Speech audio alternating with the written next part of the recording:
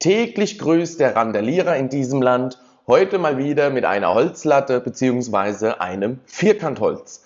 Ihn hier neben mir aus Worms, den kennt ihr sicher noch, unseren eritreischen Freund, der hier am Bahnhof für ganz schön Tumult gesorgt hat und die Passanten hatten ihn entwaffnet schlussendlich. Es gibt jetzt hier ein paar Neuigkeiten zu ihm und auch Berlin hat jetzt wieder einen Randalierer festgenommen. Sieben verletzte Polizisten war das Ergebnis, allerdings nur zwei verletzt vom Randalierer, die anderen fünf Opfer der eigenen Kollegen geworden. Damit herzlich willkommen bei Politik mit Kopf. Ihr kennt ihn hier, unseren eritreischen Freund aus Worms, der von Bilal am Ende entwaffnet wurde. Das Video hier auf dem Kanal, es war sehr erfolgreich, ihr könnt es euch gerne anschauen. Jetzt gibt es hier zu eben diesem eritreischen Freund ein paar Neuigkeiten. Er hatte zur Tatzeit mit dieser Holzlatte in der Hand 1,97 Promille Alkohol im Blut und er sitzt jetzt seit 3.6. schon in Untersuchungshaft. Allerdings nicht wegen diesem Lattenangriff am Wormser Hauptbahnhof, sondern wegen anderer Delikte, die davor passiert sind, unter anderem schwere Körperverletzung.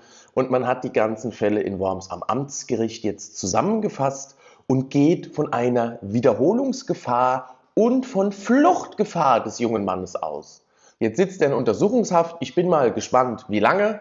Es wäre besser, wenn man ihm mal eine ordentliche Strafe gibt und versucht, ihn auch abzuschieben. Jetzt gehen wir nach Berlin in äh, einen Randalierer, der eine Supermarktscheibe mit einem Vierkantholz malträtiert hat. Als die Polizei dann angerückt ist, kam es zu einer interessanten Situation, würde ich das mal sagen. 22.40 Uhr, es geht ein Notruf ein bei der Berliner Polizei. Die Beamten einer Einsatzhundertschaft sind ausgerückt, bewaffnet mit Schutzausrüstung und Maschinenpistolen, sicherten sie am Forkenbeckplatz die Situation ab. Das Ergebnis sind sieben verletzte Polizisten, zwei davon von dem Randalierer, die anderen fünf von ihren Kollegen. Sie hatten auf dem Parkplatz oder auf dem Vorplatz des Supermarktes einen 28-jährigen jungen Mann aus Burkina Faso angetroffen, der sich in einem psychischen und körperlichen Ausnahmezustand befunden hat. Die Polizei hat einen Warnschuss aus der Dienstwaffe abgefeuert. Das hat den jungen Mann überhaupt nicht beeindruckt. Warum auch? In Berlin wird selten geschossen. Daraufhin hat man die Dienstwaffe wieder weggesteckt bei der Polizei und hat dann erstmal versucht, mit Reizgas dem jungen Mann beizukommen.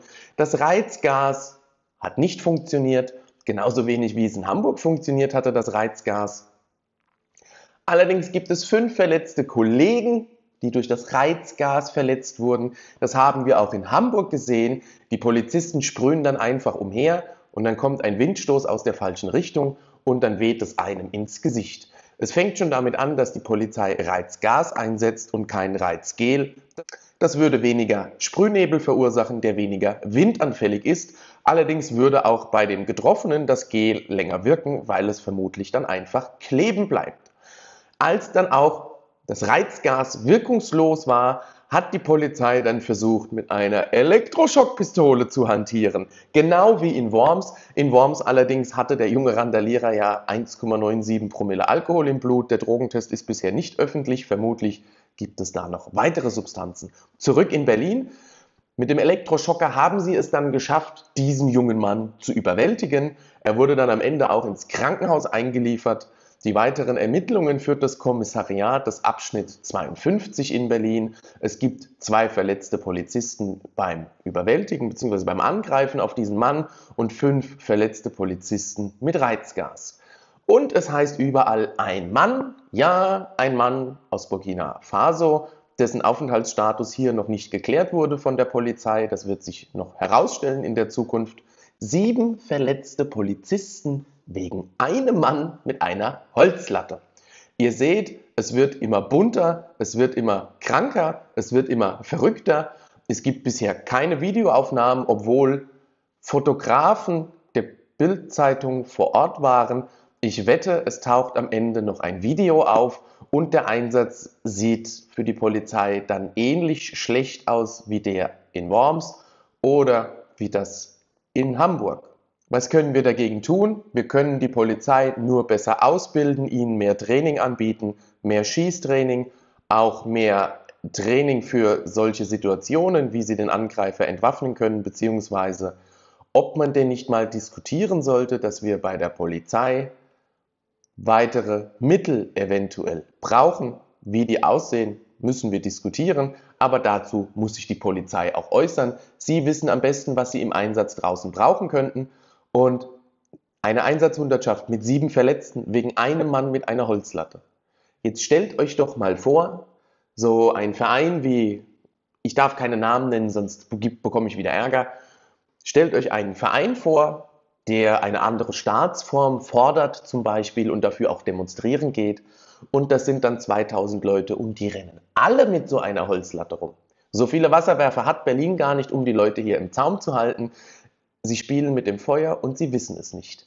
Allerdings täglich grüßt die Holzlatte in diesem Land. Ich wette, heute gibt es wieder andere Tatmittel, die, die in der Küchenschublade liegen zum Beispiel. Da gab es gestern nicht so viele davon.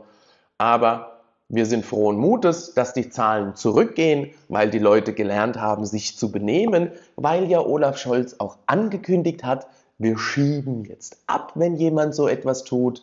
Dabei hat er Messerdelikte gar nicht ausgesprochen.